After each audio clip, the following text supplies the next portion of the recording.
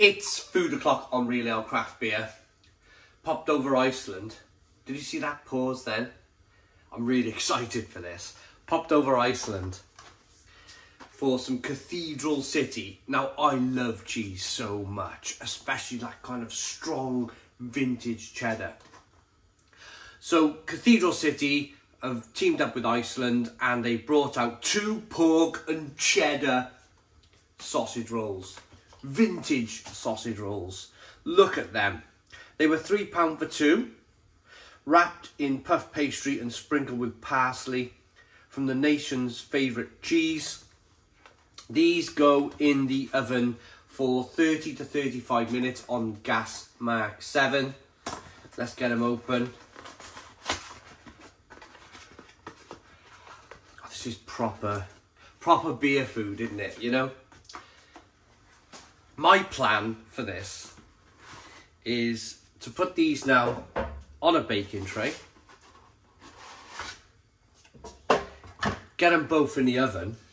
And whilst they're cooking, because my camera setup is set up and we're recording, I got 35 minutes to play around with. So I'm going to pop a couple of beer reviews in whilst these are cooking. Great idea. Right, there they are. There's a look at them.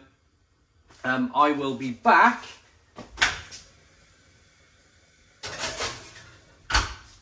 In 35 minutes. See you then. Oh my goodness me, goodness me, you want to see these sausage rolls. I just checked them from the oven. They look incredible. Let's get them out. Oven off. Whoa, check these out. Look at them. Bang on time as well. Bang on time. Literally within a minute of them saying they were ready, that 35 minutes. Look at the size of that sausage roll.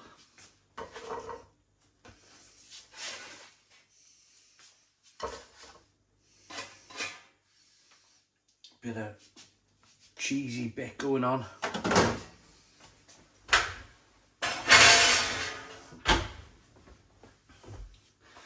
Right. I got, I, I underestimated the kind of, the size of the plate. I, I think I need to put one of these on another, or maybe just put it, I'll put it on one of these wooden chopping boards. Ooh. Look at that.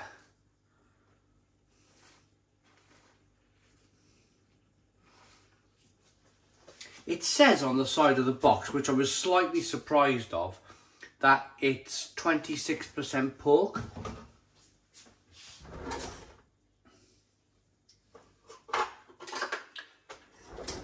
For whatever reason, I thought that it would be a little bit more sausage meat going on, but that, that's enough. It's definitely enough. I mean, it must be sawdust and other things that are making up the the sausage. Only joking. So I just cut through the side. Look at that. Steaming away. Look how juicy. Look how juicy that pork looks. I don't know. I don't know if it got cheese on the top or if cheese. It's got me salivating. Absolutely salivating. Cheese in the sausage or actually cheese in the on on the lid of the the sausage roll. Anyway, here we go.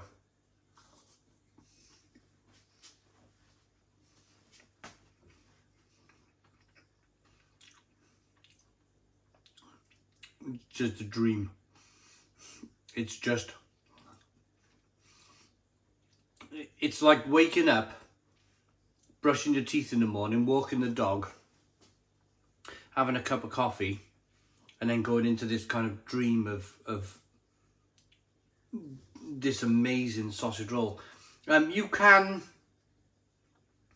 you can go to some of these like farmers markets these days, or we have a we have a garden centre near us. And you'll go, uh, and they've just opened um, like a farmer's farmer's market inside the garden centre. All local produce, and you see these big sausage rolls, and they're like £3.50 for one. And I've tried one, and they're fantastic, they're really good.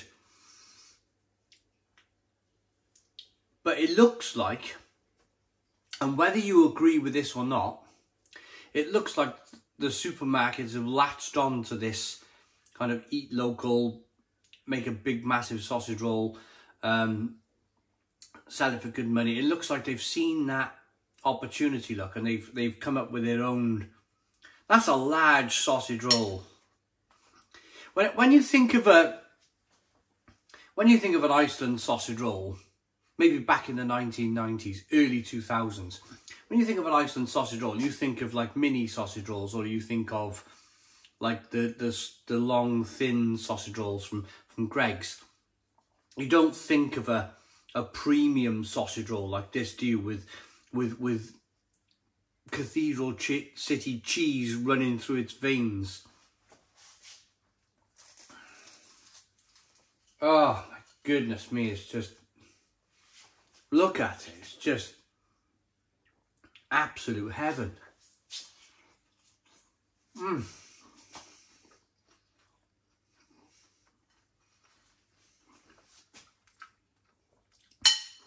You can see the cheese. There it is for all to see. That's the Cathedral City cheese.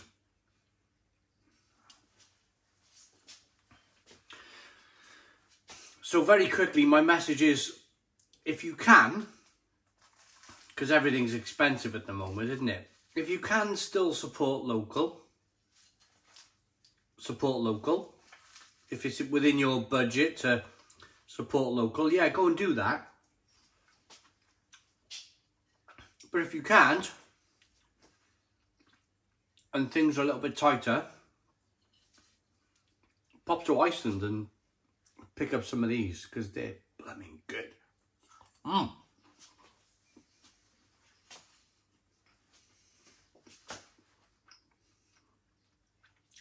The pastry is incredible. What do they call it on the top there? I think they said it was sprinkled with um, parsley. You get a taste of that parsley on top. That little bit of kind of greenness that I like to call things. But look, I'm going to show you again.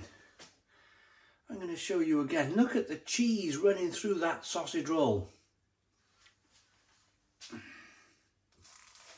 It's, it's a kind of, I know it's, it's, of course it's processed. It's ultimately a big old processed sausage with cheese running through it. But I mean, even so, it's tasty.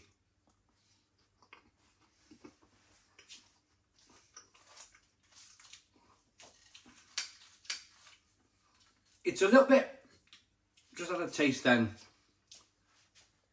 It is slightly oily. I'm getting to the fact, I'm getting to the point now where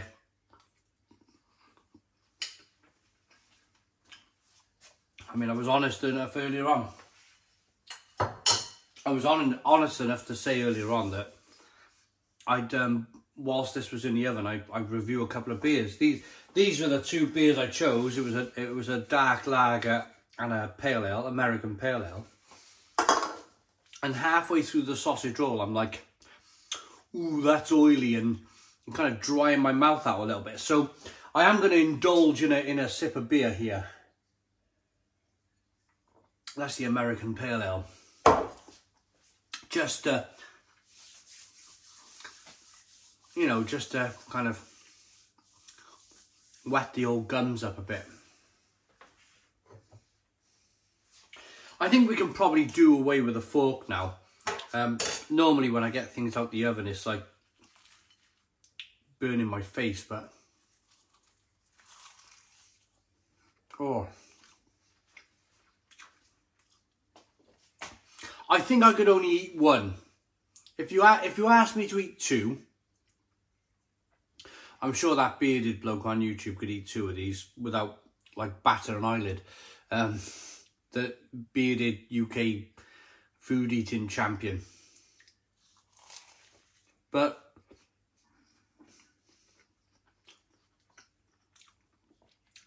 already it's starting to get a bit whew, starting to get a bit much it's starting to get a bit slightly sickly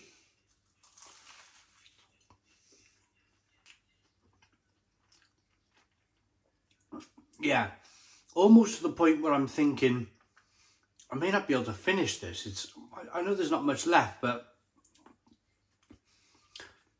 there's so much going on that lovely cheese flavour is very oily it's very oily, it's very fatty.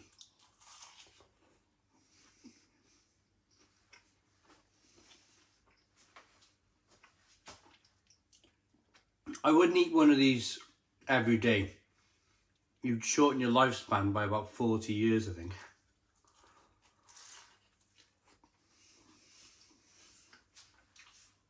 The cheese is immense though. The cheese and the sausage, it's, it's, it's like a proper craft sausage roll.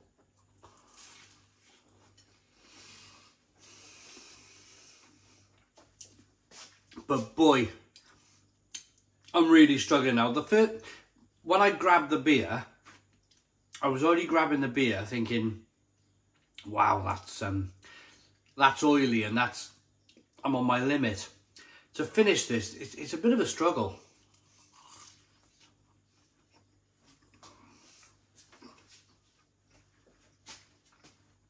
And I've not eaten since yesterday. It's not like I'm coming into this food review like I've had breakfast or th this is my breakfast. It really is.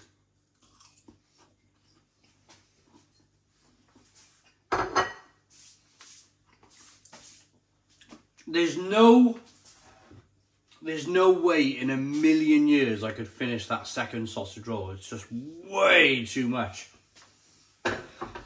That's a sausage roll pack for sharing. That's like you and your partner. Maybe buy another pack if you've got children.